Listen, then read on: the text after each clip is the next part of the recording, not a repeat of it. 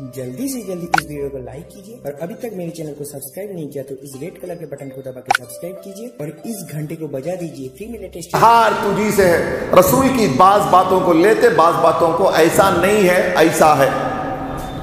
ایسا نہیں، ایسا ہے۔ قرآن کو بھی ایسے ہی بولنا ذرا ایسا ہے، یہ زبان محمد سے نکلا ہوا کلام کلام خدا ہے۔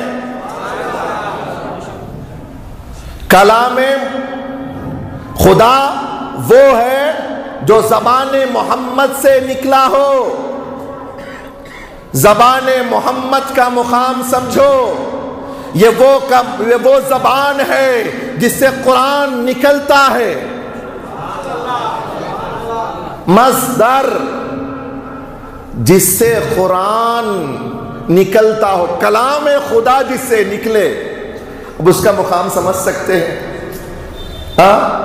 یہ وہ زبان ہے جس کو نبی نے فرمایا تھا، حسین، تو میری زبان کو چوس لے۔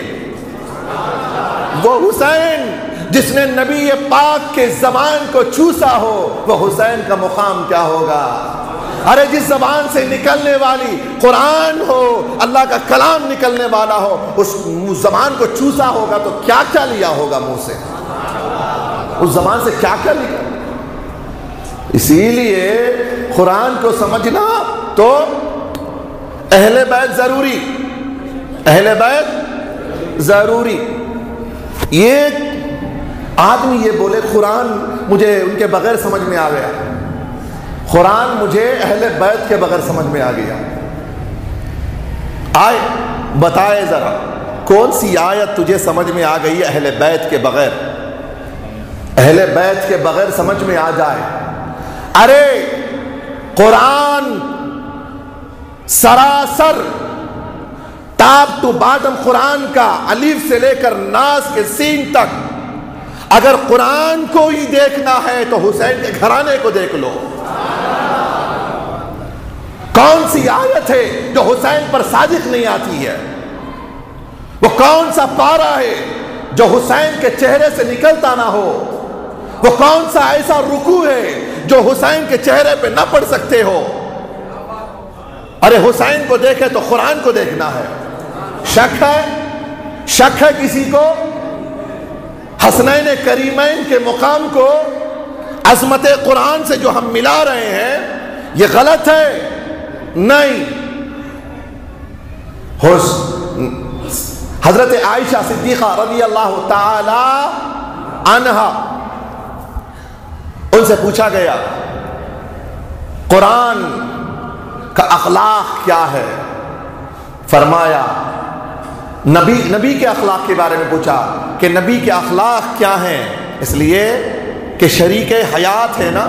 شریک حیات اور کثرت سے ان سے زیادہ محبت کرنے والے، کثرت سے ان کی صحبت میں رہنے والے حضرت عائشہ اور ہماری ماں عائشہ صدیقہ رضی اللہ تعالی عنہ، ان سے پوچھا گیا کہ اخلاق رسوئی کیا ہے؟ تو ارشاد فرماتی ہیں قل قل قرآن کہ ان کا اخلاق دیکھنا ہے تو قرآن کو دیکھ لو۔ قرآن کو دیکھ لو، جس کو قرآن دیکھنا ہے، وہ مصطفیٰ کو دیکھ لے، جسے مصطفیٰ کو دیکھنا ہے، اسے قرآن دیکھ لے۔ ہو گیا؟ یہ تو حدیث سے مل گئی نا۔ اب پھر حدیث کی طرف آؤ۔ نبی فرماتے ہیں، الحسین منی وانا من الحسین۔ حسین مجھ سے ہے اور میں حسین سے ہوں۔ ارے، جس کو مجھے دیکھنا ہے، وہ حسین کو دیکھے اور حسین کو جسے دیکھنا ہے، وہ مجھے دیکھ لے۔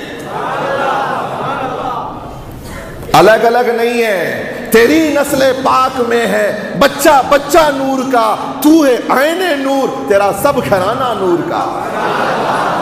ٹوٹل ٹوٹل، یہ گھر اور نور اور ظلمت مل نہیں سکتے۔ نور اور ظلمت اندھیرا اور روشنی۔ اندھیرا ہو۔ دن بھی ہے، اندھیرا بھی ہے، ہو سکتا۔ اندھیرا چھا جائے۔